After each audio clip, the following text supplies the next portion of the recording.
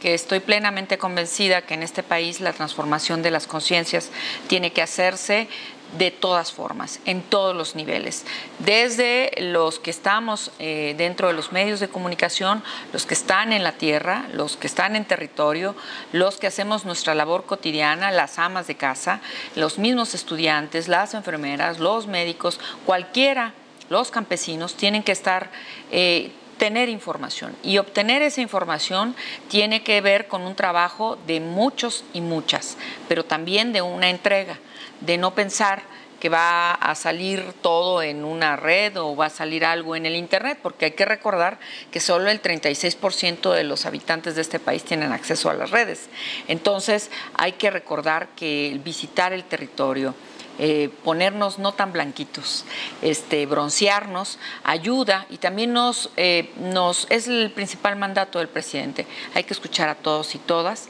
hay que tener muy claro qué es lo que necesita cada comunidad y también como diputado, todas las iniciativas que estamos haciendo tiene que ver con el trabajo territorial que nosotros estamos reflejando. Dentro del trabajo que está ahorita...